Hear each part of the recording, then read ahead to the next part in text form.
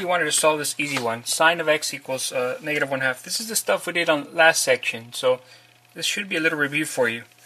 And I'll be happy to review. Um, the, the, idea went something like this. You, you first graph the sine curve. Um, here's the famous sine curve.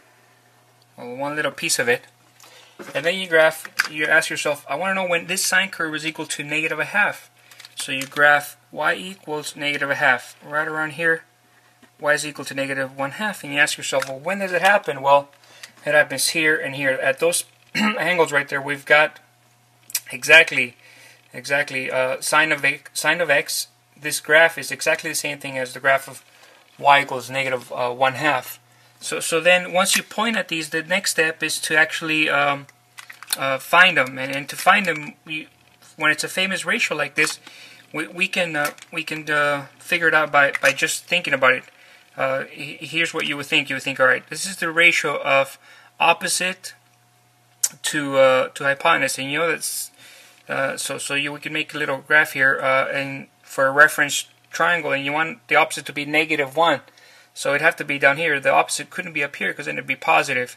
So this would be negative one, and the hypotenuse is two, and, and you know that happens only once uh, where the a triangle has one of the legs half the hypotenuse, and that's on a 30-60.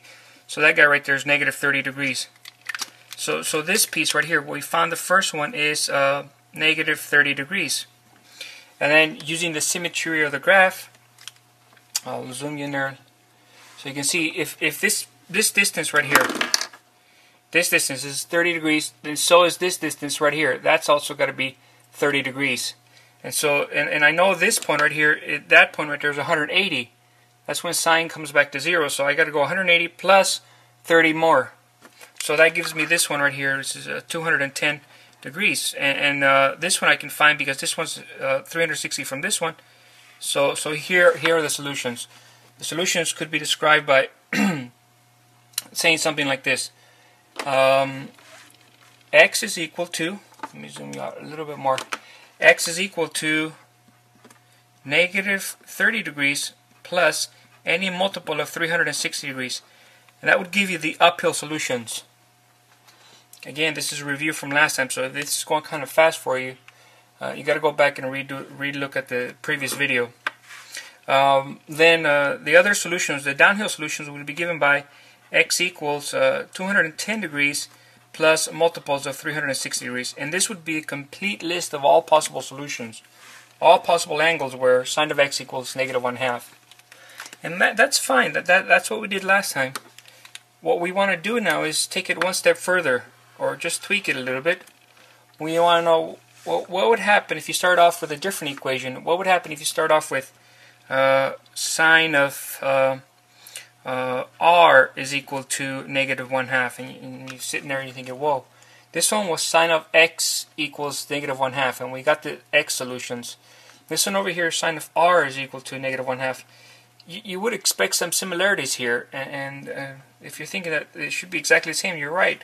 The answer would be exactly the same, except you're not solving for x like you were here. You're solving for r, so the, the conclusion would be r is equal to negative 30 degrees plus multiples of 360 degrees, or r is equal to 210 degrees plus multiples of 360 degrees. Every one of these r values would work. And you think, well, that was easy. Well, yeah, it was easy because it was exactly the same as, well, almost exactly the same as the one before. The only difference was instead of x, we had r. I think, okay, that, that's a pretty easy game to play. What if I had sine, of something else? What if I had sine of, of blah is equal to negative 1 half? Whoa. How would you solve that one?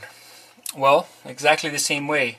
If you can do it for x, and you can do it for R, then you can do it for anything, blah. So the answer here would be that um, blah is equal to negative 30 degrees plus multiples of 360 degrees, or um, blah is equal to 210 degrees plus multiples of 360 degrees. That's the idea. And it's still, the story is not complete because you're thinking, blah what, blah this, blah you. No, uh, well, it's because it, when I'm done, I'm not done with the story yet. The story goes like this. Suppose you had uh, something like this. Uh, patience. What if you had something like this? Uh, sine of 3x uh, plus, uh, 40 degrees is equal to negative 1 half. Haha, now, now you start to see where the story goes. Because cause you're going to look at this and you're going to be scared if, unless you think about it this way. Hey, it's just a sine of blah. I don't really care what that is. So here, your conclusion should be, just as before, it should be that 3x plus 40 degrees is equal to negative 30 degrees plus multiples of 360 degrees or that um, 3x plus 40 degrees is equal to 210 degrees plus multiples of 360 degrees. That's based on the previous work. That's based on here. You should be whenever you see this, you should be thinking. You should be thinking. I'm going to solve uh, sine of blah is equal to negative one half first. That's what you, this. I mean theta or blah, whatever you want. If you think about it that way, and you can solve this easy one, then this one is almost just as easy, except instead of having theta or x, you have some other quantity. Put that on your solution and proceed. Here, the ultimate goal is to solve for x. So I could add 40 to both sides, or subtract 40 from both sides. And that would give me 3x uh, is equal to negative 70 degrees plus multiples of 360 degrees.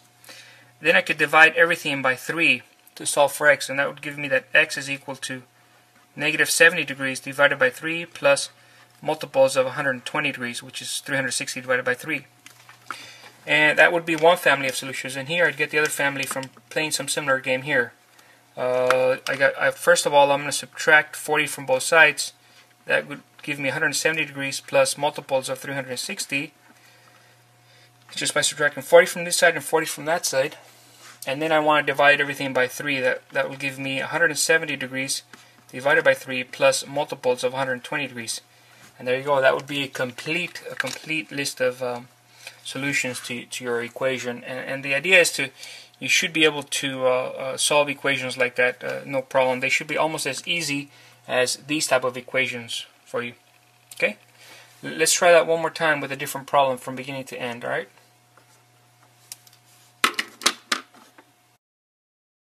Okay, so let's try this one. This is uh, sort of uh, just something off the top of my head.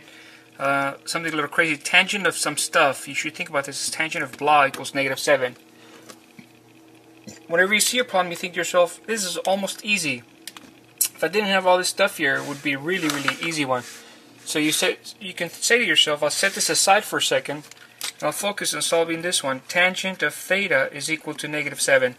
If I can solve this one, this one will be almost as easy. So, so to do this one, we follow the standard procedure here that we've we've outlined in lectures. Is we we draw um, a sketch of the graph, and uh, we we try to find out one of the solutions. Uh, either if it's a famous ratio, we do it by looking at the triangles. If not, we look at, we do it by look uh, checking the calculator. Here I'm looking for all the angles where tangent of that angle is equal to negative 7. We'll just say this is y equals negative 7. That would be that angle, that angle, that angle. There's a whole bunch of other ones. Using our calculator and our tan inverse function, you should be able to get that the, the solution here is uh, about negative 81.8 uh, degrees, uh, approximately. Um, I'll just round it off. Theta is approximately 82 degrees. Okay, that, that only tells you one of the solutions, that tells you that one. To get the entire family of solutions, you, you recognize that the period for tangent is 180 degrees. So this guy will be repeated uh, every 180 degrees. So I can add multiples of 180. This covers negative multiples as well. So going forward or that way, every 180 degrees will give you a complete set of solutions. And then you think to yourself, all right, this one over here is almost the same as that one, except instead of having theta, I have this other thing. So, so the solution will be will be like this. It'll be a half x. In essence, what we're doing is just a simple substitution, um, but it might be easier to see this way. So this will be 82 k uh, degrees plus multiples of 180, and then the name of the game would be to solve for x. Well, I think um, I meant negative there, as well as as there. Okay, so we will subtract uh, 20 from both sides, so that will give you a half x is equal to negative 102 degrees plus multiples of 180 degrees. And then you would multiply everything by 2. I would give you x is equal to negative 204 degrees plus multiples of 360 degrees. And that, there's your solution. Uh, well, I should say uh, approximately because I rounded off. Uh, I did some serious rounding off on this one. Um, and, and, there you go. That That's the approximate set of all the solutions. They're roughly 204 degrees plus uh, all sorts of multiples of uh, integer multiples of 360 degrees. There it is. Um, this uh, this one is kind of short. This this lecture is kind of short. I think you guys will be will be okay on the homework now. All of them are or like this where you have tangent of some other stuff or, or instead of tangent you could have sine or cosine uh, so you reduce this one to a simple one by, by simple substitution theta substituted instead of that you solve this one the same way you did the ones in the previous section and then you substitute back whatever you got for theta and solve for x that's the general strategy okay? Alright we'll see you guys here next time. Peace